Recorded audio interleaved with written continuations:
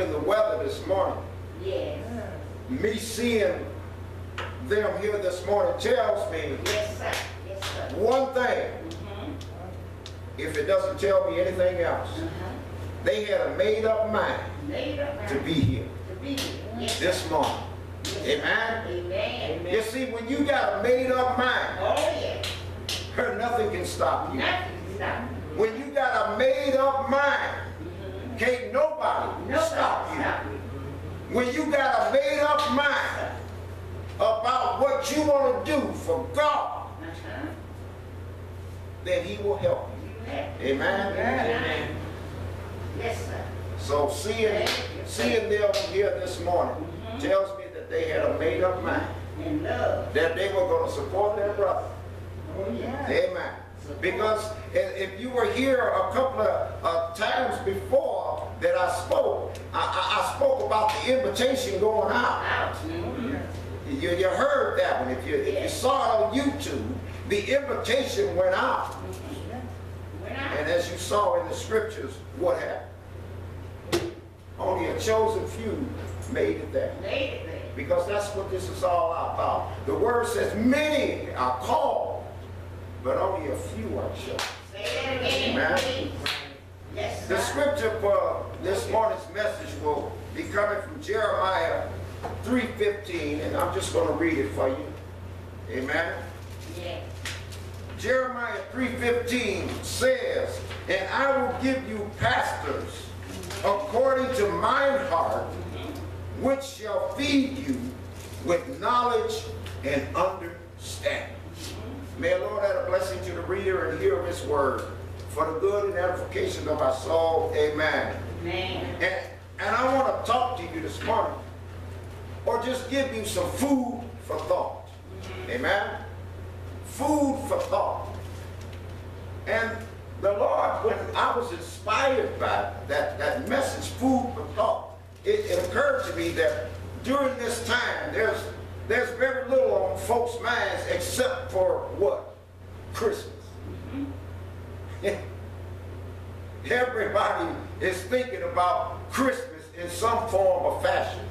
The children are thinking about Christmas. The jobs are thinking about Christmas. The businesses are thinking about Christmas. They have taken the birth of Christ, which is what Christmas is. That's what Christmas is, the birth of Christ, the celebration of Christ, and have turned it into a multi-billion dollar business. Sir. So what I want to do this morning is, is just to throw some things out there for you, to give you some food for thought. Because I always said, if you learn one thing coming in here that you didn't know going out, mm-hmm. that's a good thing. Yes. Amen? Amen. Yes. Just like folks talk about us preachers, uh, uh, uh, talk about us, I always say that if I can bring one person to Christ, One. just one, Mhm. I have done my job. Yes, sir. Because we're supposed, each one, reach one, teach one. Teach one. And if you can bring one person to Christ, Mhm. then you've done a good thing. A good thing. Yes, sir. That invitation that I was talking about in my previous sermon, I spoke about who that invitation is being sent to.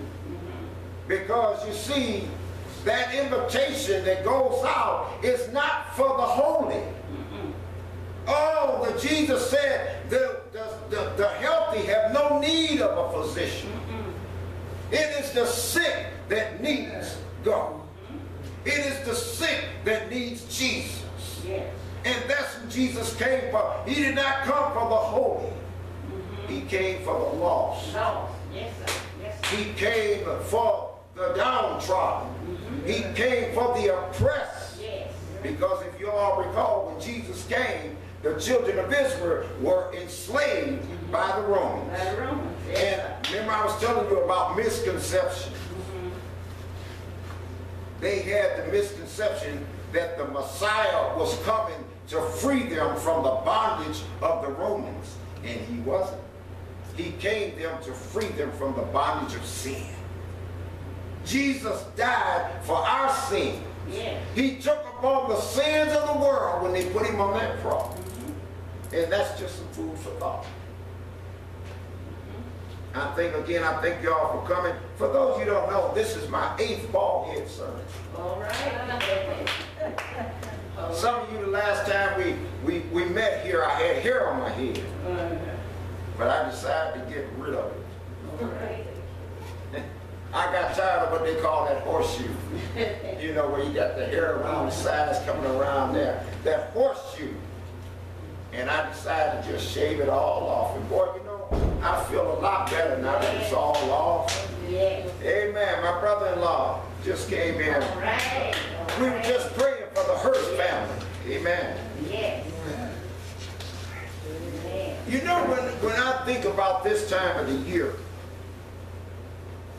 it has, a uh, not only does it have a lot of meanings to me, but it has a special meaning to me.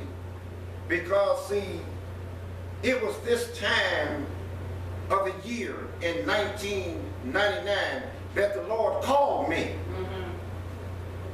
It was on December the 16th that the Lord called me. And it was on December the 18th, which is today, that he qualified me. And the reason I say he qualified me, because that was the day that I felt qualified to do his work. Because just like when Jesus was born, there was no fanfare. When Jesus was born, there was no parade. Uh, usually when a king is born, there's a big announcement that the king is born. The king's son is born. There's a big announcement. They have a celebration for the birth of the king's son. But see, Jesus' birth was humble. Um, He came into this world by humble means.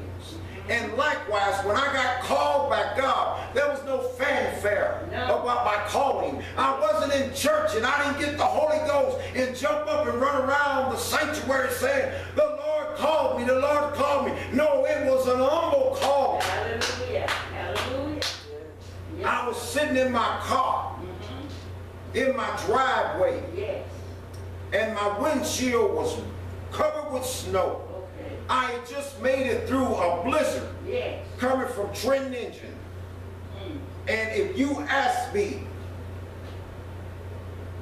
what was going on, in what was going through your mind while you, were- I cannot tell you what happened. All right. I recall seeing a building that says One Heritage Plaza on 75 going north. And the next thing I know, I saw a sign that says Welcome to Detroit. If you ask me what happened during that time, I cannot right. tell you. All right. All right. I can tell you now, it was God. It. Was nobody but God that got me through that blizzard. And there I was sitting in my driveway, and the, my windshield was covered with snow. And then it, appeared- it appeared like a finger was writing in the snow. And it said these three little words, feed my sheep. Yes, sir. Hallelujah. And then the words just went away. And I sat there for another half hour trying to figure out, was I hallucinating? Mm-hmm. Was I, oh, because I didn't see the words anymore. But I remember it said, feed my My sheep. sheep. Yes, sir. As many of you recall, I was a deacon at the time. But here I get a word that says, feed my sheep. Mm-hmm. And after thinking about it, I realized what the Lord was trying to tell me. Yes. You see, sometimes when God is calling you to do something, he doesn't make a whole big deal about it. He'll just give you something simple. Yes. Feed my sheep. Now, just like with Jesus' birth and my calling, The angel of the Lord didn't go up to the palace and tell the king that Jesus has been born. The angel of the Lord did not go up to the synagogue to tell those priests that Jesus had been born. Yes. Oh, no, just like with my calling, the angels went to the lowly of the lowliest. Uh, they, they, the scripture, if you heard it, was this morning. It said an angel of the Lord came to the shepherds in the field. Yes. You see, it was the shepherds that got the good news Good first. News. Good news. And unlike the king and those priests, the angel of the Lord told those shepherds exactly where he was. Yes. Yes. Yes, the angel said, because born to you today in the city of David, which is called Bethlehem, mm-hmm. Christ the Lord. Just like with me, when I got my calling, I did not call my pastor up and say, hey, I got to the calling. Mm-hmm. I didn't get out on Facebook. And if it, I don't even think Facebook was on me. And I didn't get out there and send emails out to folks telling them I got called. The first person who got the word that I had been called by God to preach the word was my youngest daughter, Rhonda. Mm. Amen. All right. I told her before my wife. Now she went and told her mother. And then over the next couple of days, uh, the word got out. But just as a lot of things in your life, you have questions about why God would have you do this. How many times have you, you, you felt the spirit down and they tell you to do something and you question it? And there I was questioning my calling. And then I heard somebody say, how can you be a preacher? You're not qualified. Mm-hmm. Now remember what I told you about Satan. Mm-hmm. Satan is no respecter of person. No. That's all Satan was waiting for, for somebody to tell me to my face, depending on who it is and how they tell you, Thank you. you start having doubts yourself. Well, maybe it isn't. Maybe this ain't what I'm supposed to be. There I was on, because I got called on a Thursday night. Yeah. And then on Friday, I'm walking around wondering if this is real. Mm-hmm. And then I heard you're not qualified. And that just strengthened that feeling that I had that maybe I'm not qualified to do this thing. You've heard the old expression, God don't like ugly. Don't like. Not And when God calls you, he'll supply you. You sure will. When God calls you to do something, he will make sure that the avenues are clear for you to do it. Thank you. And there I was two days later, sitting in my car, still questioning whether or not this is what I was supposed to be doing. What you doing? Yes, sir. And then a preacher drove up, my brother-in-law David, may he rest in peace. He asked me, what's wrong, preacher? You know, he asked me, he asked me, what's wrong, deacon? Uh-huh. And I said, well, you know, uh, I, I believe that the Lord called me a couple of days ago. He said, well, what are you depressed about? You're supposed to be happy. I said, well, I was told and I kind of believe that I'm not qualified. And then he said something that turned the whole thing around. He said, if the Lord calls you, the Lord qualifies you. And when he said that, I got a new, I got a fire, a fire just lit up inside of me. And that's when the next day I went down to the church and I told my pastor, I said, Pastor Ford is a different pastor. The Lord called me Yes. and when I told him that, like I said, when the Lord calls you, mm-hmm. when he gives you a mission, Yes, sir. keep this in mind. When the Lord gives you a mission, he gets you in condition. Yes, sir. Y'all heard that before? Well, now you did. Yes. When the Lord gives you a mission, he gets you in Thank condition. you, Thank you. And when the pastor heard that I got called to preach, he put me under the wing of Reverend Edgar Jones, a man who had been a preacher for as long as I've been alive. And he was my mentor for close to five years. He mentored me. He even scolded me about my calling. You see, just because you're a preacher don't mean you're gonna always get everything right. Or you're gonna say things that you shouldn't be saying. Or you're gonna do things that you shouldn't be doing. People are gonna see you Yes, sir. in ways they shouldn't be seeing you. Yes, sir. Thank you, Pastor. Thank you. And he said, you just gotta remember one thing. That when God calls you, he qualifies you. And when he qualifies you, he will supply you. Right. Yes, sir. Oh, yes, will. Now you know the devil is not going to give up. No. That's just a food for thought. You keep that in mind. The devil is not going to give up on you. No. Oh no, he's going to keep hounding you and hounding you and hounding you. But you just got to keep him at bay with the word of God because that's what Jesus did. That's what he did. Yes, sir. Mhm. Yes, The devil got a lot of folks with misconceptions about this season. A lot of folks believe that Jesus was born on December the 25th. Well, if you read your Bible, you'll find out that that's not true. He couldn't have been born on December the 25th because you see that weather out there? It ain't even the 25th and it's cold.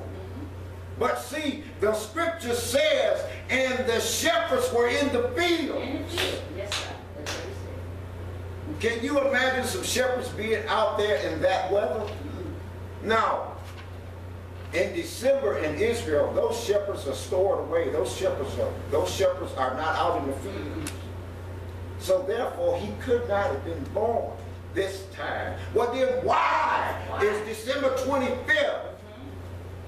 Why was that selected as the day that symbolizes the birth of Christ?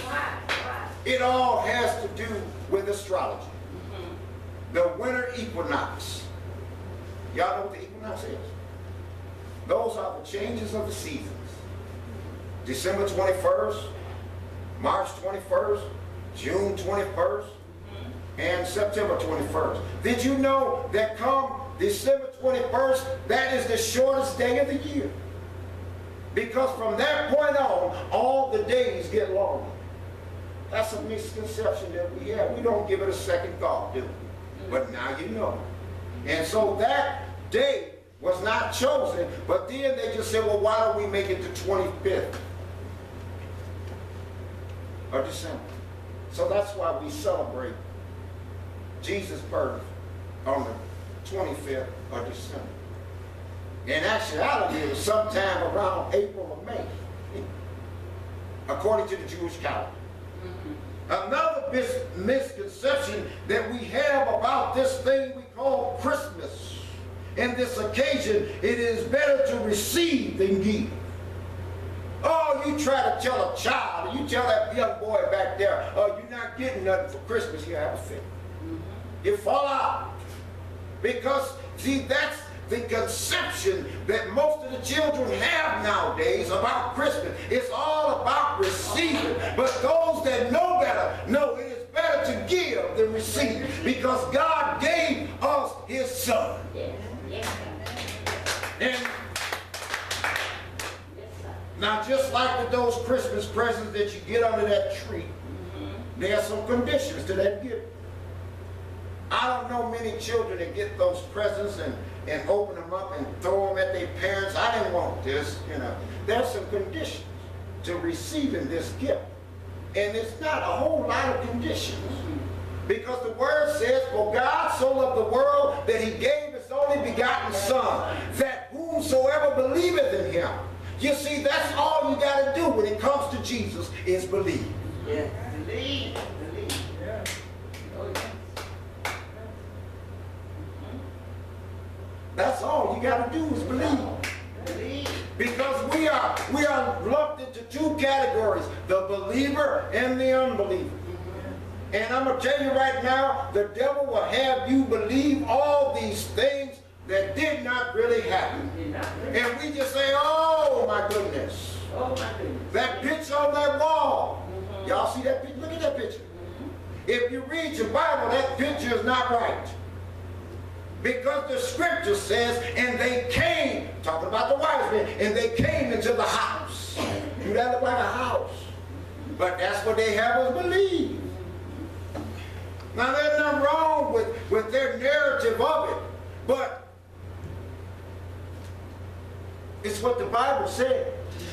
Because God says, I am the truth, and all men are liars.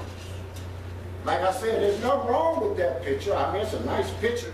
But doctrinally, it's not right. Because scripture says that the three wise men came into the house.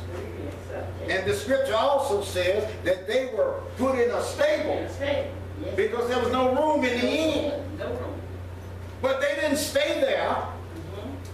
As soon as there was room in the house, that's where they went to. And by that time, the wise men showed up. There are so many things that, that we are, are told and, and we all believe it. Uh, even when this COVID came out, I heard so many people say, oh, that's the devil, that's the devil, that's the devil, that's the devil. And you know, a lot of folks believed it. I didn't. I knew it was of God.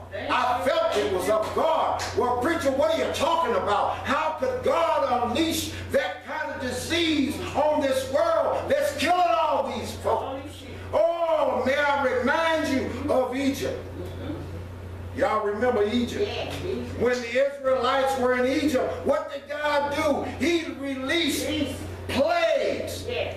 That's what he did. And that last plague, I want, I want you to focus on that last plague because, you know, up to this point, all those other plagues affected only the Egyptians. Yes. Oh, but see this last plague, the angel of death coming and killing the firstborn. Yes. It affected everybody. Yes. That angel of death was no respecter of person that night, but see, God had a remedy. God. Yes, sir. Hallelujah. Yes, sir. Yes, sir. He had a remedy for his folks. He told them to put the lamb's blood over the doorpost in the mantle. Oh. Yes. And the angel of death will pass over your house. Oh, that's what happened when that vaccine came out. That was the blood of the lamb. Well, Reverend, you know, uh, uh, uh, some people, you know, they, they, they, they still caught the COVID even after they had been vaccinated. Oh, but did they die? Mm-hmm. Did they die? No. Yes, sir. That angel of death came down through Egypt Yes. and it went through every residence.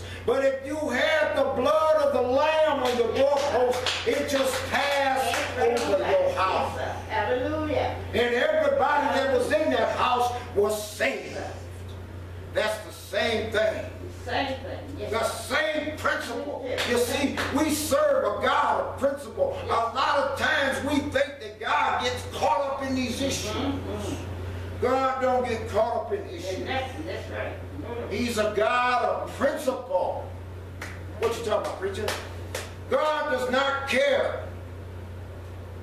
He's not concerned with how much you stole. He's concerned with you stole. Still 10,000. Still $10. To us, it's a big deal. Somebody steal 10,000 from you, you're going to kill them. They steal $10 from you, you might be angry at them. But see, when it comes to God, they stole. And I'm going to tell you, can I tell you something else? Yes. You can't do nothing about what happened yesterday. No, no, nothing, nothing. You can't do nothing about it. Somebody steal five dollars from you on Tuesday, and then they come back to you on Wednesday and give you fifteen dollars.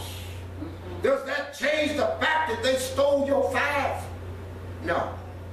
Oh, are you going to accept the $15? Of course you are. But two things will happen after you take that $15, one, you ain't gonna leave no money around in their presence anymore. And two, when they come in, you're gonna be watching every move they make.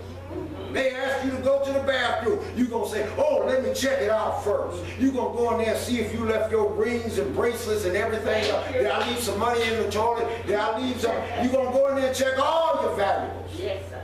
And if you find your ring or your bracelet, you're going to put it in your pocket. Okay, you can go in. Mm-hmm. Trust is a very valuable thing. Yes, it is. Yes, it is. Yes, Some more food for thought. Trust is a very valuable thing. And did you know that when it comes to trust, anybody can be turned? Anybody. They tell me that God told Adam and Eve that don't touch that tree. He trusted them not to touch that tree. But what did they do? Mm -hmm. Eve picked that fruit. Sure. The Word of God tells us put no confidence in the flesh. No. Put confidence in me. Because the flesh will fail you. Everybody in here done been, I don't want to say betrayed by somebody, but everybody in here probably been, been disappointed by somebody. It may be your parents, it may be your siblings, it may even be your children that disappointed you. Mm-hmm. When you had full of trust in them and then something happens and that trust has been damaged. Damaged. But see, God loves us despite ourselves. Oh, God loves you. I know that there's a lot of things that happen in my life, that choices that I made, that I know God was not pleased with. But because of what he had ordained for me when I was in my mother's womb, he intervened on many of occasions. All the time that I was playing around with this bullet and I shot it against the...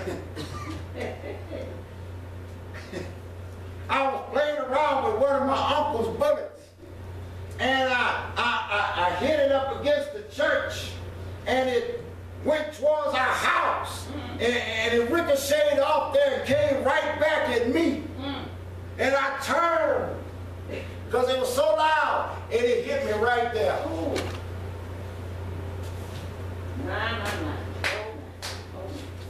It wasn't nobody but God. Nobody but God. It wasn't nobody but God. And y'all heard the expression, train up a child in the way they should go.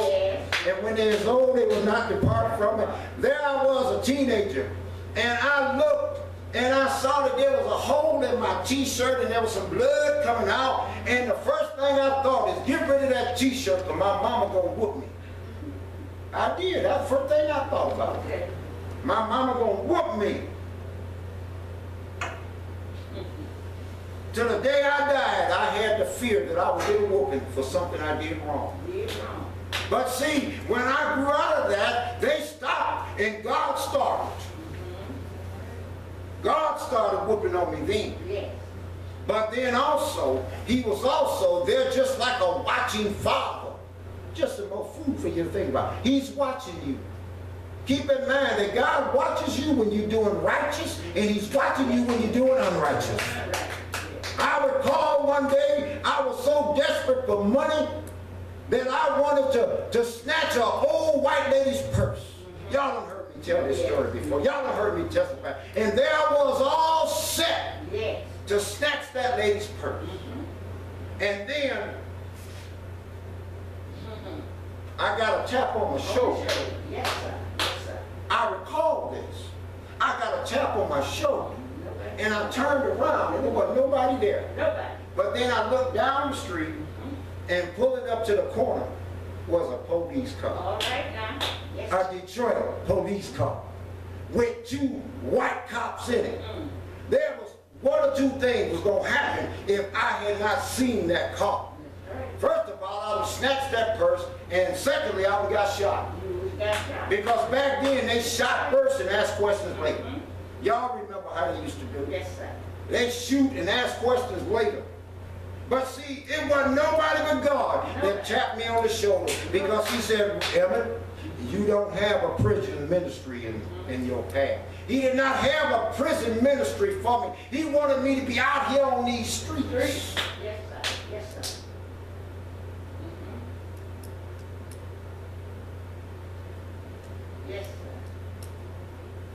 But there I was. And you know, whenever you are indecisive about something, you know who's there to help you. No. You know who's there to console you. When you're feeling down and you- you're feeling depressed, the devil comes to you. Yes, sir. But let me just tell you something. Let me just give you some thought here that the devil cannot comfort you. Thank you. Thank you. He can console you.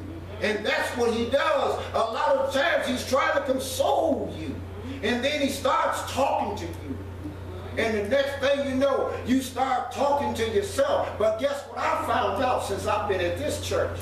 That the devil talks to you in your own voice. Yes, sir. Oh, how many times have you been sitting there scratching your head talking about, well, that sounds like a good idea. You are talking to yourself and trying to talk yourself into doing this.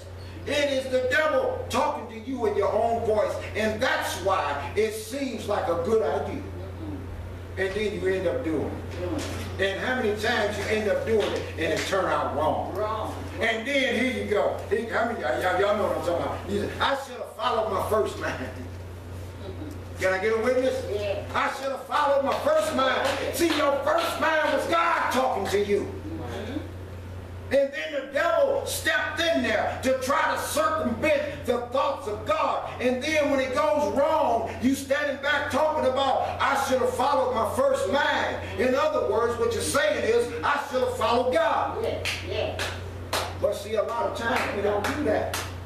We talk ourselves, just like me. I was talking myself. I was standing there on that, on that street that they talking about. Well, she's old.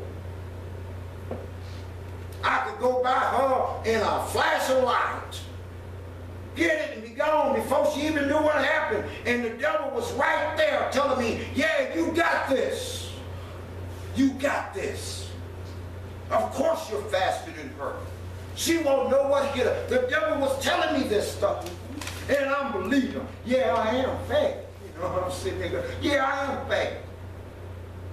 She ain't no match for me. I was in martial arts.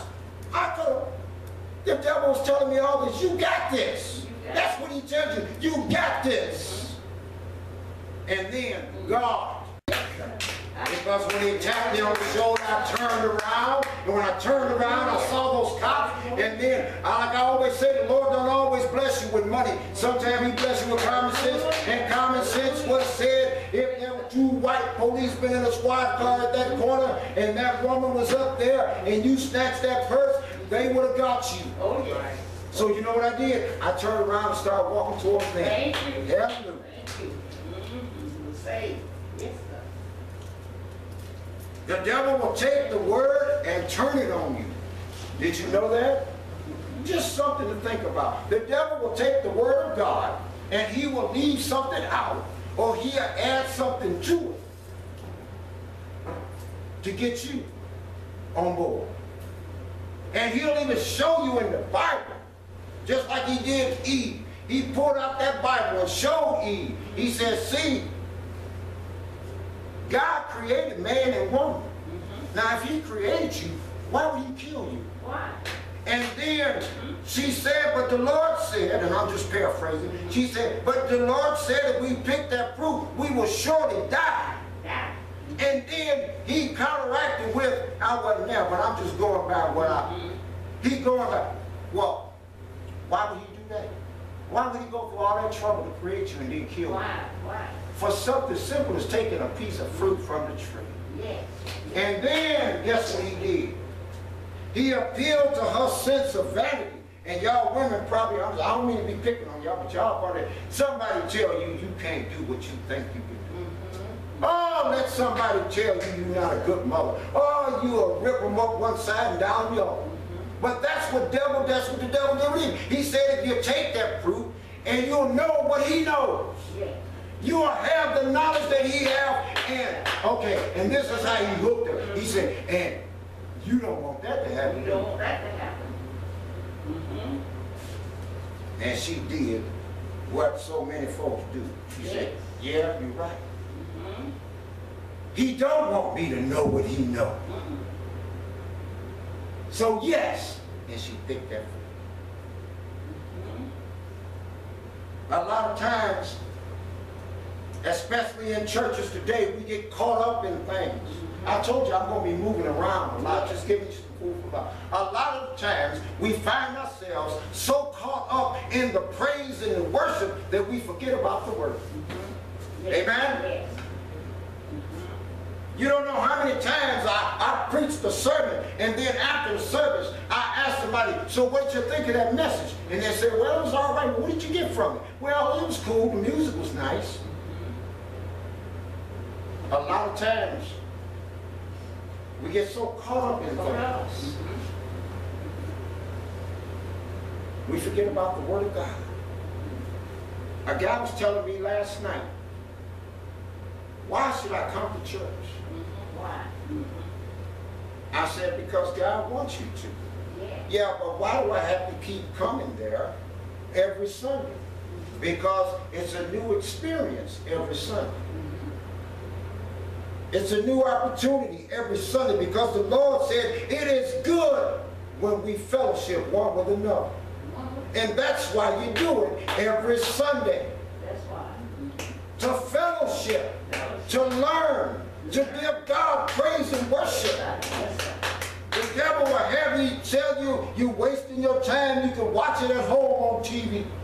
Or you can pull up your cell phone and you can zoom in. A lot of churches just don't know Don't know. that by offering that opportunity to their members, and I'm almost done, their members stop coming. You know why they stop coming? Because it's better to pull out your cell phone and watch the service than to get in your car and drive over there. Mm-hmm. Some people actually watch their gas gauge while they're driving to church. They do. Let's see if I got enough gas to get back. And you know the old expression, out of sight, out of mind. If I were to take a poll, I wonder how many of those folks send their tithes into the church, send their offerings into the church, even though they zooming in, is they mailing in, is they cash apping in. You know some churches got cash app now. Yeah, got cash app. Are they cash apping?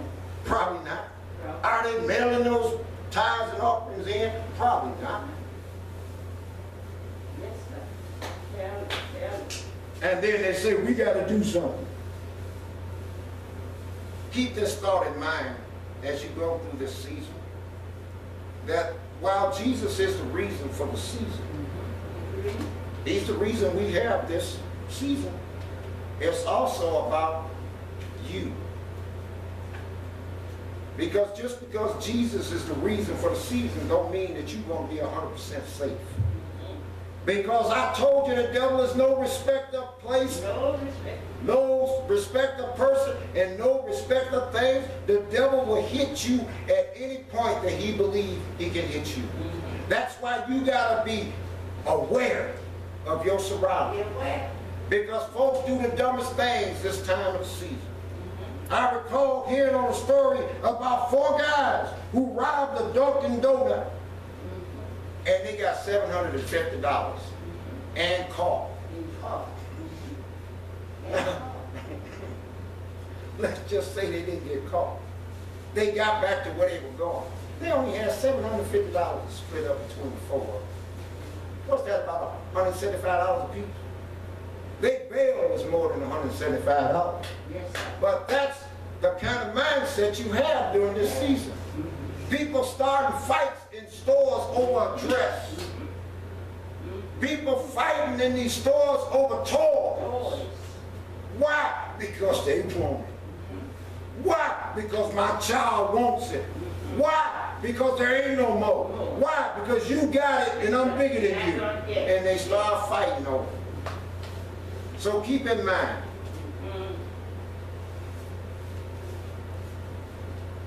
that this is the season for Jesus. And when I say Jesus, I mean the heart of Jesus. Willing to give. Be a giver. And when you receive, be joyful. Oh, you don't know how many times I've got gifts and I looked at it and I said, wow, I got 13 of these. Thank you so much. Y'all know what I'm talking about. I got a gift and I knew I had at least a dozen of them. But you know what? I was thankful for them. And guess what? I eventually went through all 13 of them. We thank you. They was Home Depot gift cards. Amen? And I went through all 13 of them. So, did y'all get it this morning? Yes. Did you get some things? Oh. And, and, and let me, I want to ask this question. Did you learn something today Yes. that you didn't know before you walked in? Did you learn something? That's what I try to do. Because he said, feed my sheep. And that's what I aim to do. Feed you with something that you haven't had before. Amen? God bless you and God keep you.